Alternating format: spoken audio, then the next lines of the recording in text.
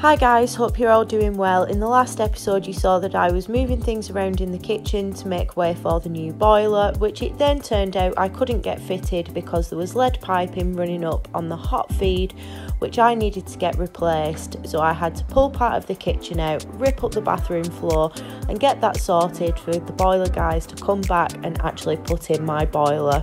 So let me show you what I've been up to since then.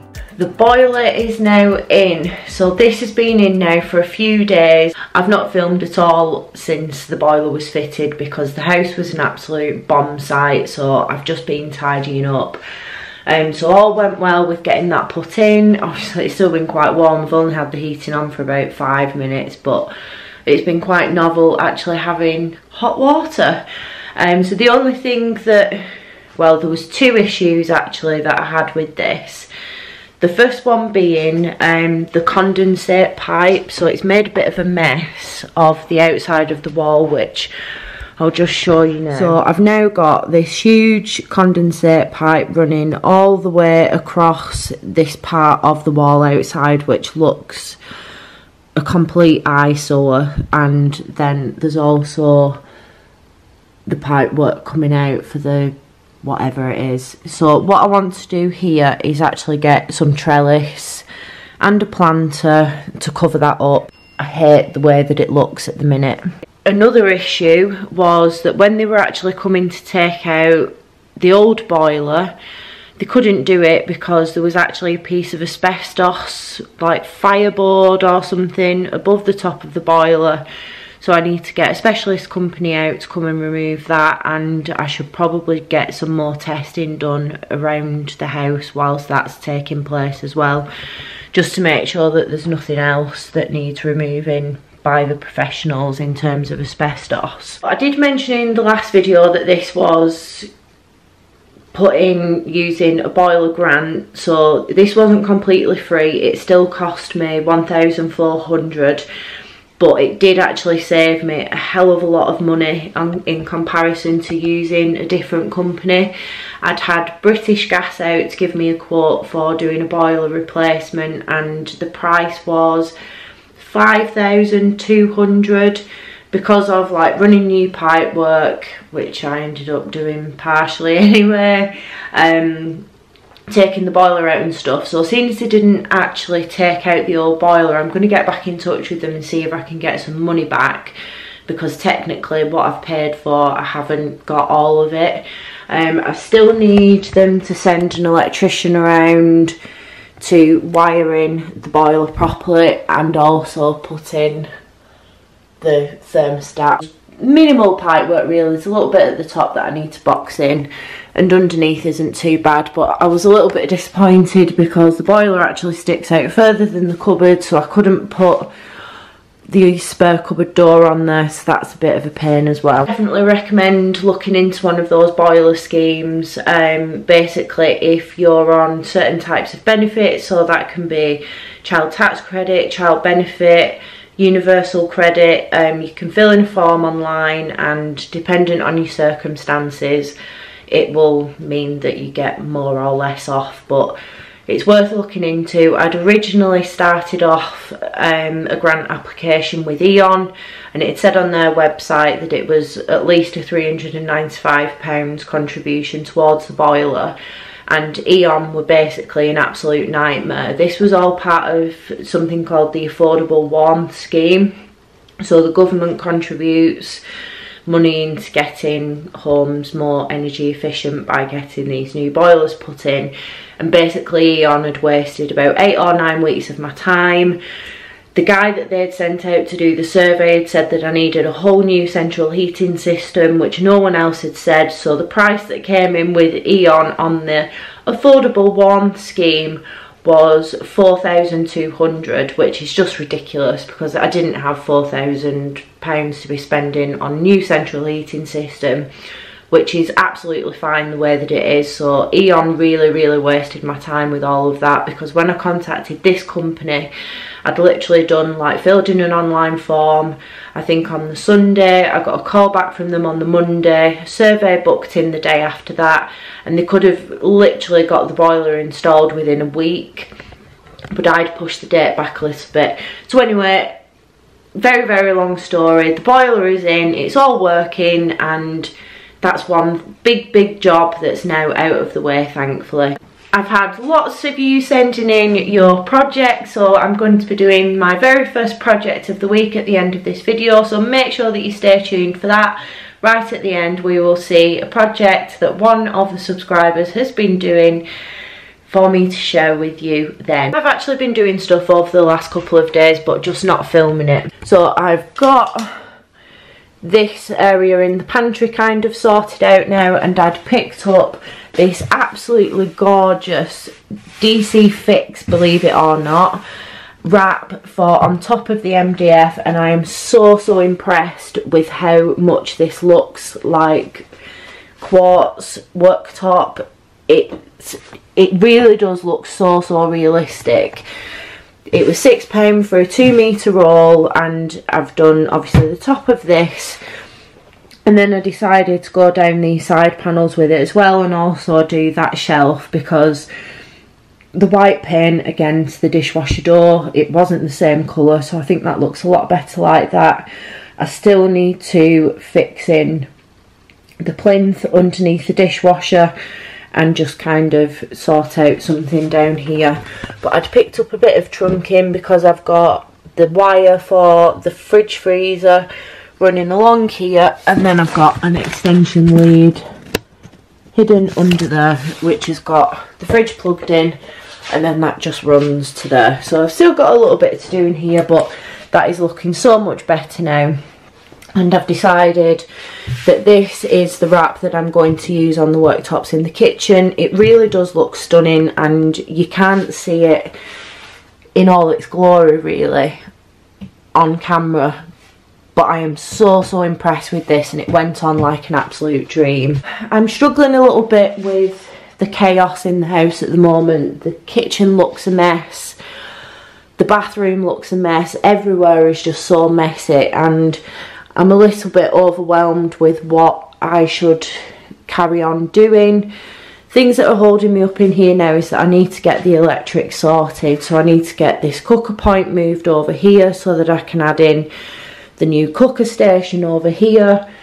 I need to get the walls stripped off so that I can move this radiator over here too. And I need to start tackling these tiles I'm really putting off doing this because I know that it's going to be an absolute nightmare, but it is something that needs to get done. So I'm just very, very concerned about the amount of mess that this is going to make and I am feeling like really overwhelmed with the state of the house at the minute and I don't really want to be making it look any worse than it already does but it's something that needs to be done so there's a few things that I need to try and get organised. I've been sorting out my tools, just trying to make things a little bit easier for me to do. And yeah, I'm just in a little bit of limbo as to what to start on next. Today has been a total flop. I've actually felt really, really tired the last few days um, and I've been struggling to force myself to do things and I don't know whether it is because there's like so many things going on and I am feeling overwhelmed. So I ended up going having a nap earlier and not doing anything. So it's actually, I think, 11 o'clock. Um, so no doubt I'm still going to be up for a few hours. So I figured what I would do is actually bring the small TV into the kitchen because I've just recently started watching Gilmore Girls and I've just enjoyed having it on in the background.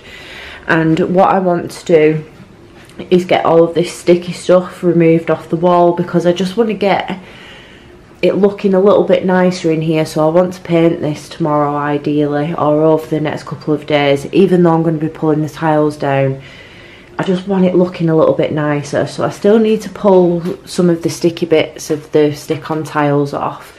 And someone on Instagram had mentioned about using a hairdryer. So I think I'll go and grab the hairdryer and it should help unstick it. And I'd tried using just some nail varnish remover to get like the sticky residue off which was recommended and it works perfectly um, so I need to this is a bit that I tested it on still a few little bits on there so I'm just going to stick the TV on and get cracking with that and hopefully get sort of like all of this bit cleared off so that I can paint these bits of the wall.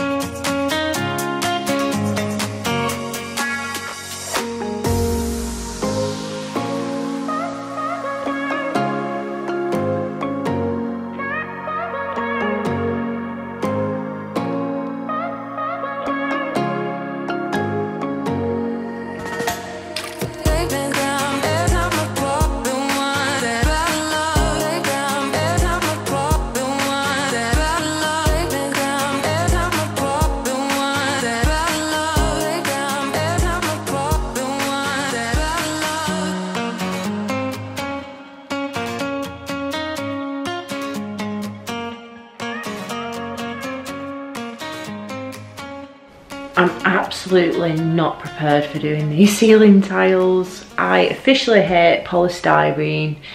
Hate isn't a strong enough word. I despise it and I am really, really not looking forward to finishing this off because just from pulling down the polystyrene coving, I can already see how much of a mess this is going to make and I am really not in the mood for doing this this week. So I'm not going to do it. I just wanted to get like the walls all one colour because there was bits of grey, bits of magnolia and it was just looking really crap. So I'd started off by doing a coat of white which is looking better already now that that, I think that was grey, was that grey wall? So that's looking better already. And then I thought, well actually I'm to have to pull off the polystyrene at the top because I knew that there was going to be like a gap behind it because it was overlapping onto the ceiling tiles. So I've got all of this bit off, all of this bit off, and I'm struggling a little bit with this because the plasterboard has been put over the polystyrene.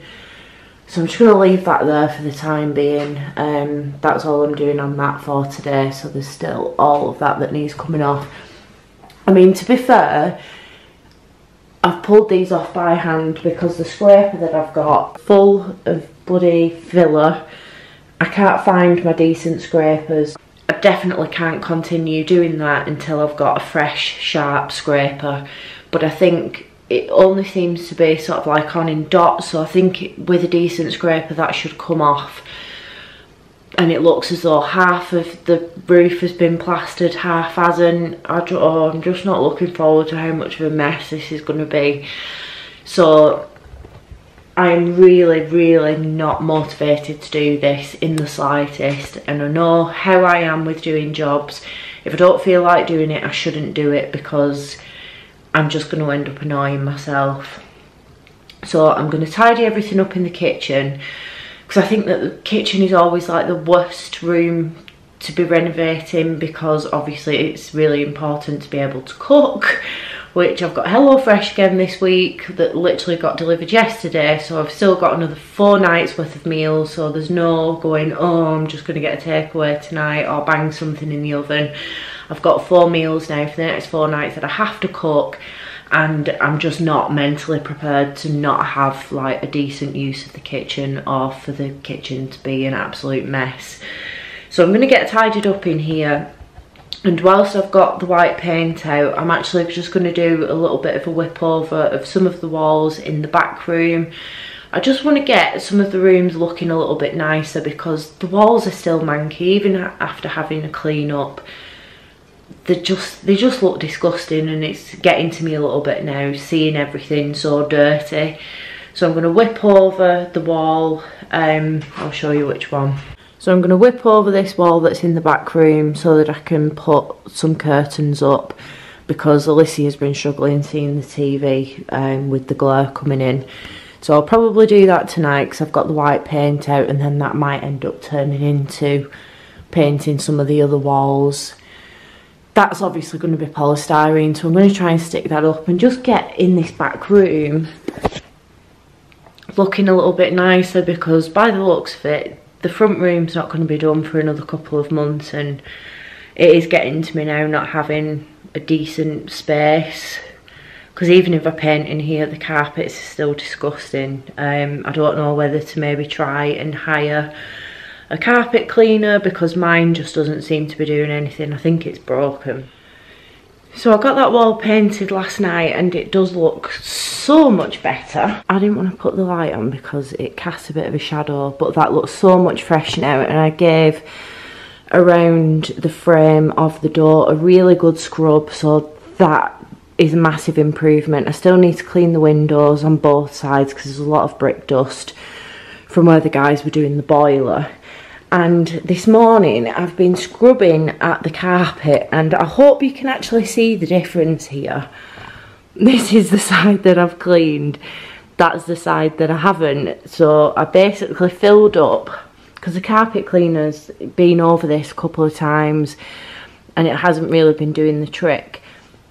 So I filled a bucket up with um, some hot water and some surf washing liquid I've got a scrubbing brush, which actually is not in there. What have I done with it? So I've been scrubbing at the carpet. I've used a little bit of Astonish carpet and upholstery cleaner as well on the really, really dirty bits. And that actually hasn't come up too bad. Like, look at the difference in the colour of that. So then I've gone over with the carpet cleaner to kind of do a rinse and a pick up because I think it's the brush that's maybe the issue on that look at the colour difference. I'm absolutely amazed by that because this was really dirty. Um, there's a bit in front of the door there. I've currently got the kittens in the kitchen. So once I've moved them out of the way, I'm going to do in front of the door again. But I managed to get like all down the sides of the skirting boards with the corner of that brush. So that is a massive improvement. There's a bit of wax here, I think that's what it is anyway. So I'll put a cloth and an iron over the top of that and try and melt that off and get rid of it. But I'm going to do this in sections. So I'll probably do the rest of, I mean, look how dirty it is. When I moved the dishwasher outside, I ended up getting like this huge dirty stain there. So, but this is just horrific. You'll understand now, probably, seeing the difference in colour as to why I am not happy with this carpet. So if I can get it all looking like that, I'll be pretty happy to be honest. Um, so I don't think I'll bother with the rug doctor. I think it is going to need a scrub. So I'll just do it in squares, scrubbing at it, going over with the carpet cleaner and that should bring it up so much better. Like literally, I cannot believe the difference in colour in that.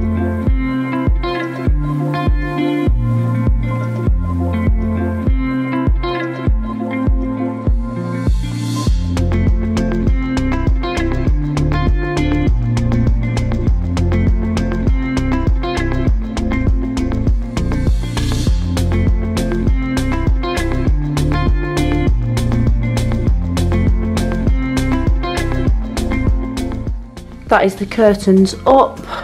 I think I would prefer that to be a little bit higher but I'm not going to mess around with that now.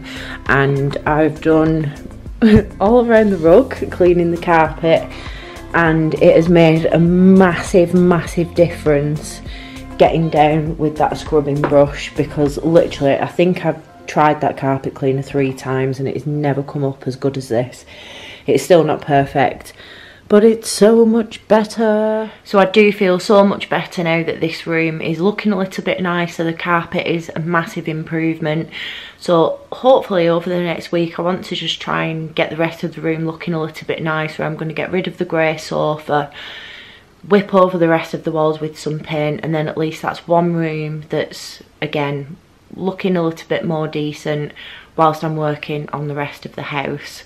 So it's now time for the project of the week. This week's project of the week was sent in by Jenny and her husband Keith. So they actually insulated the conservatory roof so if you've had a conservatory, you'll know that it's always super hot during the summer and cold in the winter. So it's not really a room that's always usable throughout the year. So by insulating the conservatory roof it means that it's going to be usable all year round.